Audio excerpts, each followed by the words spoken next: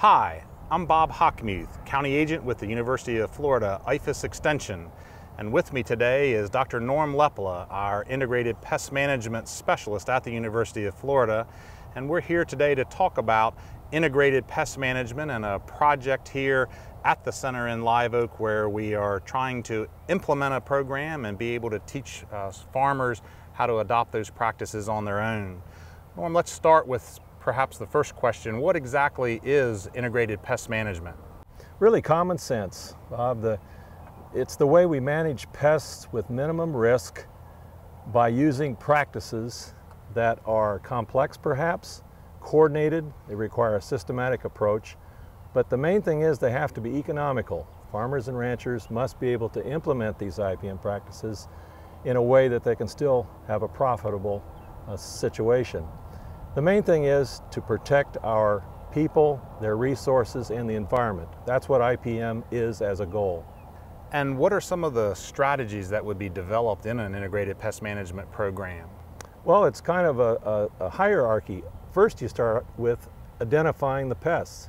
A lot of people misidentify pests, but the University of Florida IFAS has ways to help with that in diagnostics. But once you know your pest, then you need to know your beneficials. When you know the complex of organisms in a crop, you're able to monitor or to sample or to scout and track what's going on. Once you reach a threshold, which is relatively artificial but must be established for a site, then that damage threshold is really a time when practices in IPM have to be selected and implemented. And those should be lowest risk, as I said before, and things that are economical and effective. Good.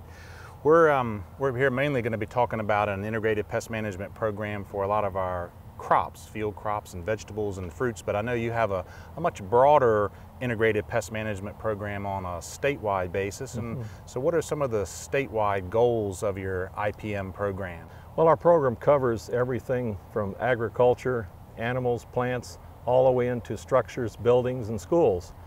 The whole waterfront of where pests occur and must be controlled.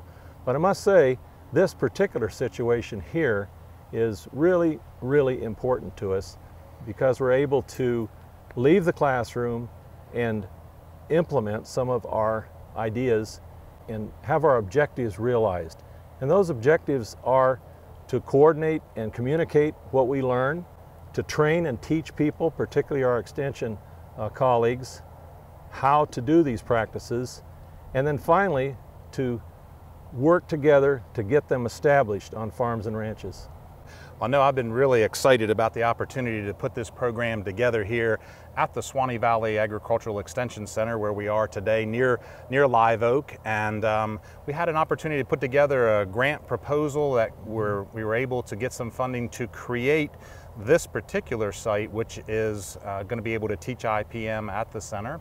And uh, that is our Living Extension IPM Laboratory, kind mm -hmm. of a mm-hmm. long uh, name for our, uh, our project. However, it really is basically just teaching farmers and other in interested individuals how to use maybe a whole farm approach to adopting integrated pest management. So we've been, we've been really excited about the opportunities to put that together.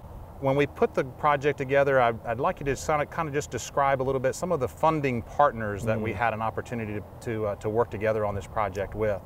Well, again, it's recognized that a lot of our, our uh, training and education is in the classroom. And the funding came from USDA, NIFA, National Institute of Food and Agriculture, uh, grants for state IPM programs.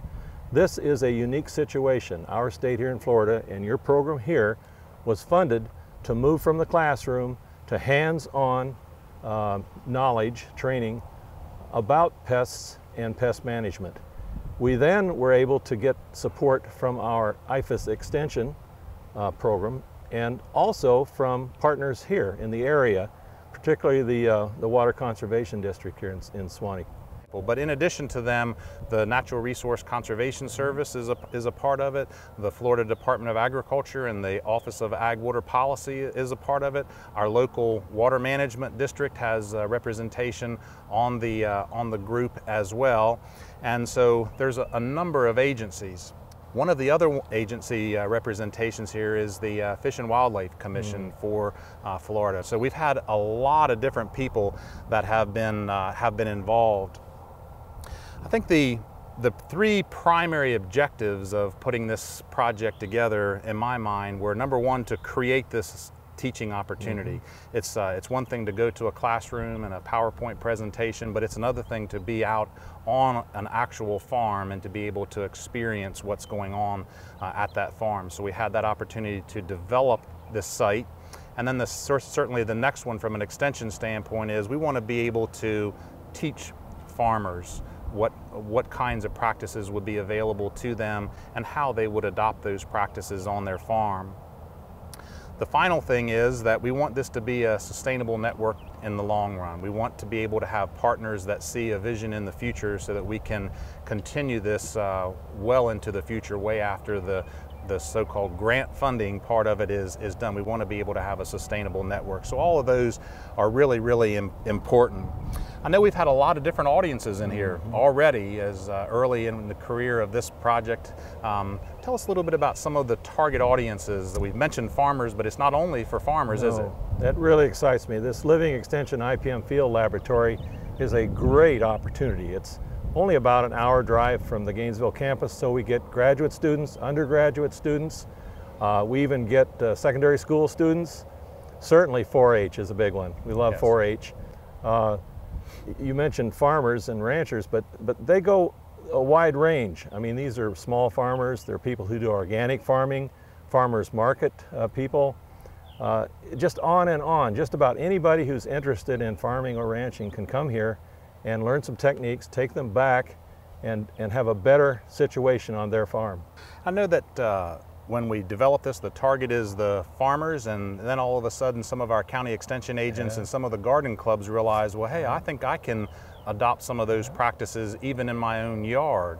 And so we have, a, we have also had maybe an unexpectedly high interest among master gardeners, uh, part of our University of Florida Extension system, uh, and other kinds of, uh, of garden groups. Uh, also in this area and many areas of the state there are folks that own land, maybe not necessarily farming, but, but want to be able to implement some of these practices mm-hmm. on their, uh, on, on their own land.